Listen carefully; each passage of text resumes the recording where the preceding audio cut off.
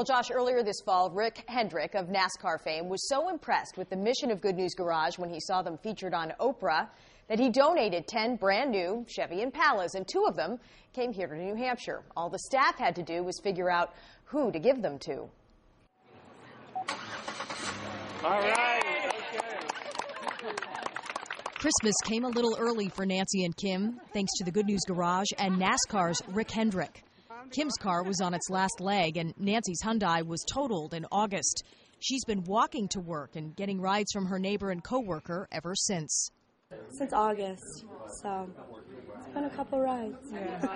Brought tears to my eyes, so because I know she really needs it. Nancy is raising her two year old grandson while working full time at Dunkin' Donuts. Kim works for Easter Seals and has to drive to visit her 15 year old son, CJ, who has autism and cerebral palsy. I drive every weekend up to Spaulding Youth Center in Tilton to get my son, who's got special needs.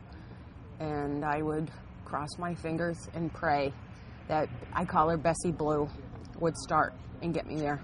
These lucky ladies were selected out of 60 applicants. Does it have that new car smell? Yes, it does. I love that smell.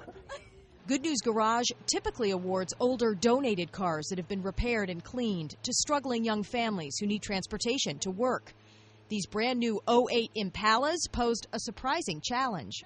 These cars are expensive to maintain. We did receive a cash gift from Rick Hendrick on the Oprah show, and that money is being relayed to them to defray some of those expenses.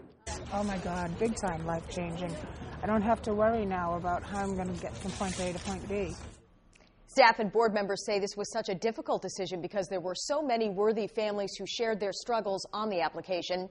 They say the goal is to help someone who is already working full time to keep working, and that Nancy and Kim fit that perfectly. Live in the studio, Amy Cavino, WMUR News 9.